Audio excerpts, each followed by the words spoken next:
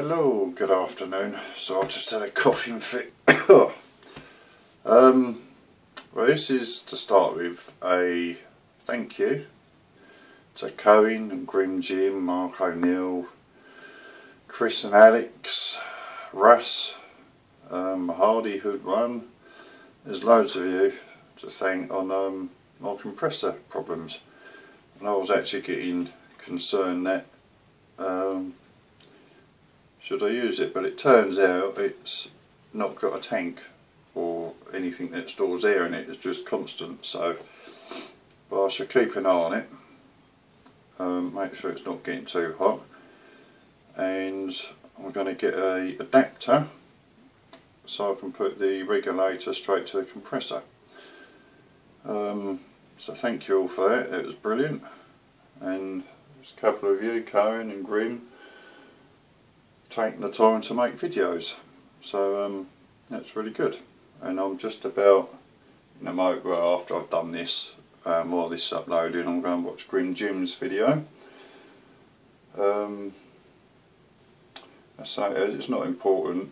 It's my name you'll say James Deval now all the doctors say Deval um, go to hospital they pronounce you Deval. It's actually pronounced Dival, as in diving, dive and all. Dival, odd name, but um, that's the correct pronunciation. Um, but Deval is fine, I like it, it sounds a bit posh. Um, but anyway, this is my review on the Walker Bulldog. So I was going to do it the other day but I got involved in other things. So here goes. This is what I got the other day when I um, got my tools and bits and bobs.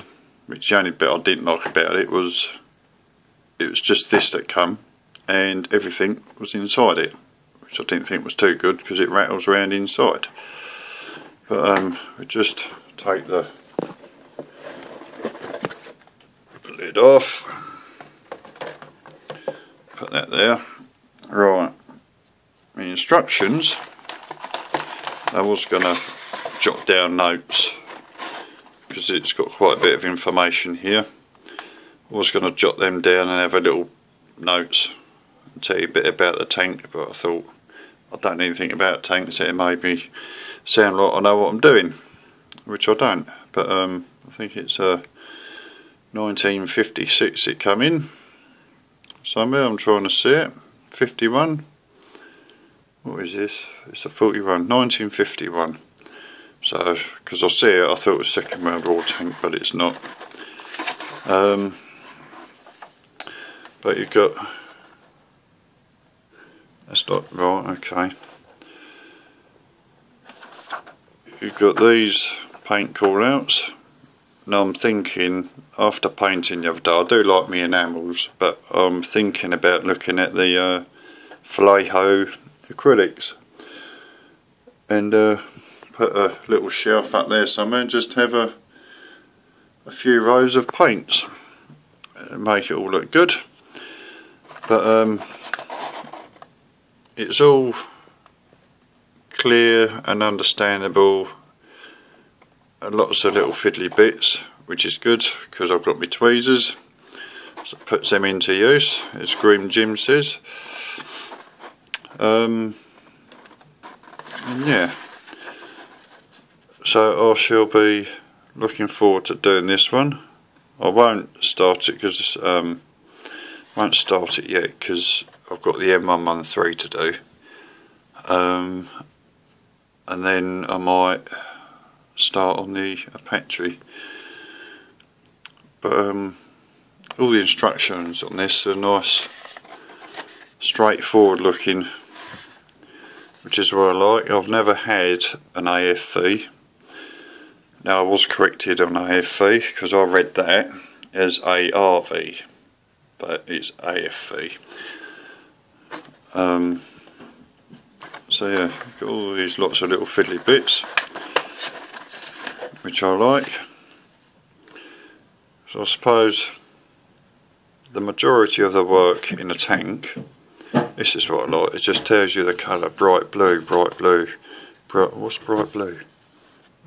Oh, optics, windows. Right, okay. Um, yeah, and it's all good. I do like the um, instructions on this, so I'll be looking forward to doing this one. And there's your virtual completed model.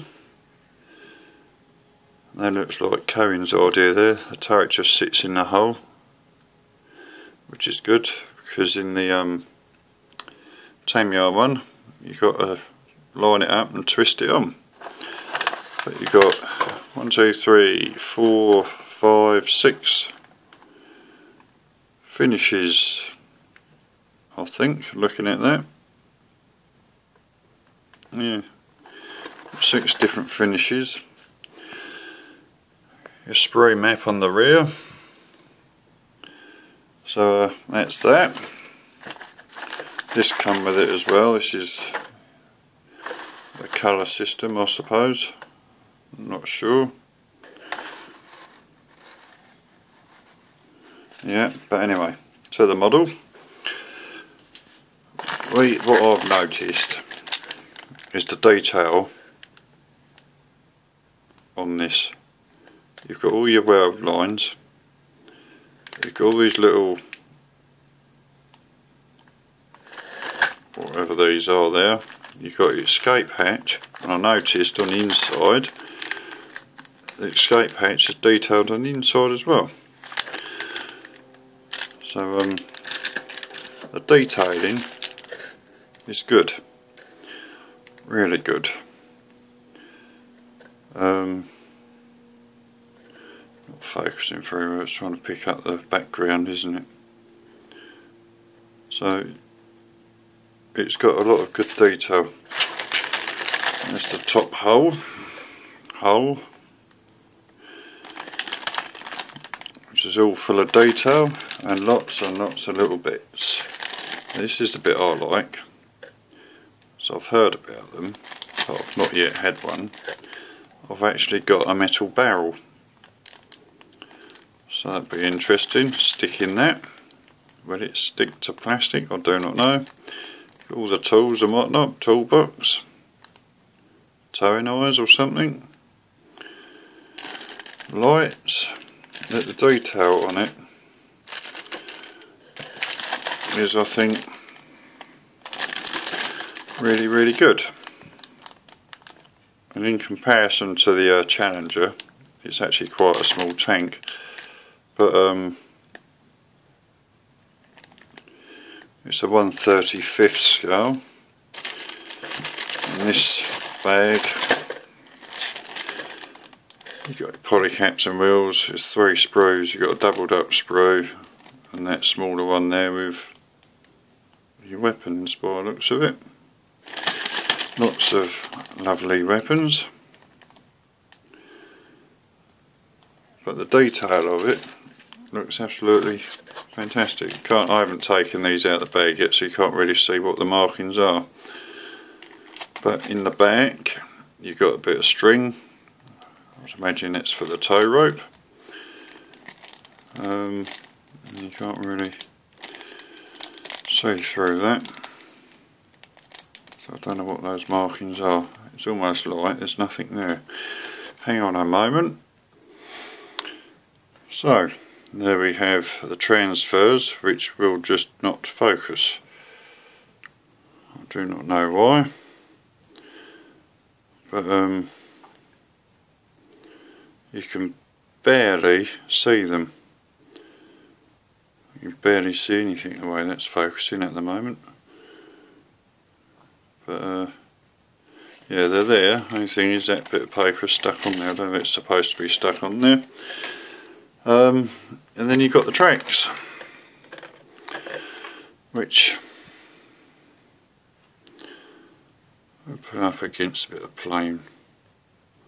So it's focusing on the wall. That's because it's um, half past three. We've got about an hour's worth of daylight left. So heading into twilight. But the tracks look good and they're flimsy. I just hope they fit well. Um, so yeah, that was my half-assed attempt at a review on the M41 A3 Bulldog or Walker Bulldog with all its sprues. It's um I do look the size difference. But then this is this one is the same size almost as the um M113. So there you go. I shall look forward to doing that. But obviously at the end of the month. What we at? 15 days time or something, 14 days. Um, I'll be starting the uh, group build. Jim and Marks. So that's all good stuff. So I've got plenty to keep you busy. Um, I'm going to carry on doing the undercarriage flaps. Start, I've started fitting them in there. It's actually quite good because the whole of the tank has made a nice stand for that at the moment. But um, I'm going to paint the undercarriage bays, put the other two flaps on because I can't put too much on until I've stuck the undercarriage in. Um, bit more paint on that. And then I might be doing a live build if it doesn't bore you all to bits and the Challenger. So I'm going to watch this video because it's one I haven't watched yet and um, I'll see you again on my next update or upload and uh, thanks again to everybody so um, I'll see you later. Okay. Ta